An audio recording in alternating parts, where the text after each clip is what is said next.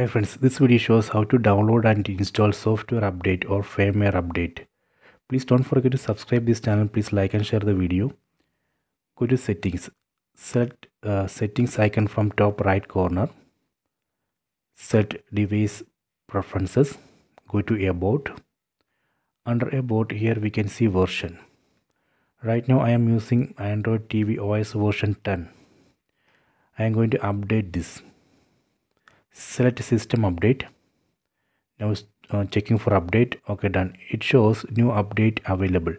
Version of this new update is android tv os version 12.1.1 size of the update is 762 mb on right side you can see one download button. Select that button. That way we can download and install this update in this device.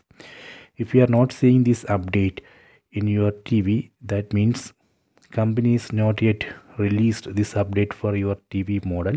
Hence you have to wait you have to keep checking this. Once this is available then you would be able to download and install this update on your TV I hope you have enjoyed this video. Please check it